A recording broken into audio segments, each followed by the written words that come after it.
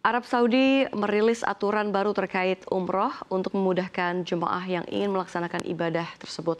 Kementerian Haji dan Umroh Saudi mengumumkan bahwa umroh bisa memakai berbagai jenis visa. Kementerian Haji dan Umroh negara tersebut menyatakan ibadah umroh bisa dilakukan oleh pemegang semua visa, termasuk visa pribadi, keluarga, transit, kerja hingga e-visa. Saudi juga mendorong jemaah yang akan umroh untuk menggunakan aplikasi masuk guna mendapat izin dan mematuhi waktu yang ditentukan.